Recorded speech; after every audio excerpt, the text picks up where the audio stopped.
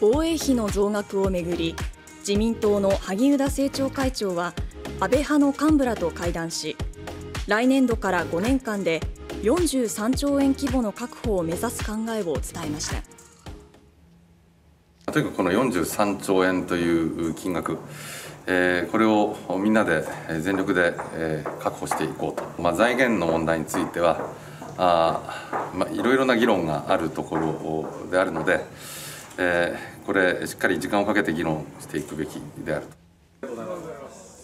自民党最大派閥の安倍派は安保関連3文書の改定に向けて防衛費について5年以内に48兆円規模を確保するよう求める提言を萩生田政調会長に手渡しました。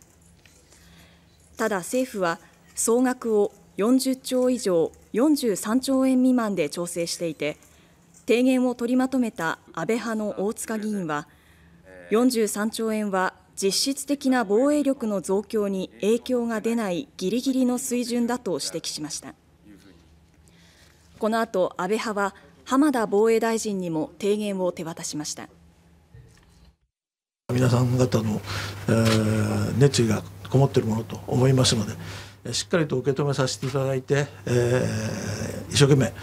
えー、予算の積み上げに含めてですね頑張っていきたいというふうに思いますので。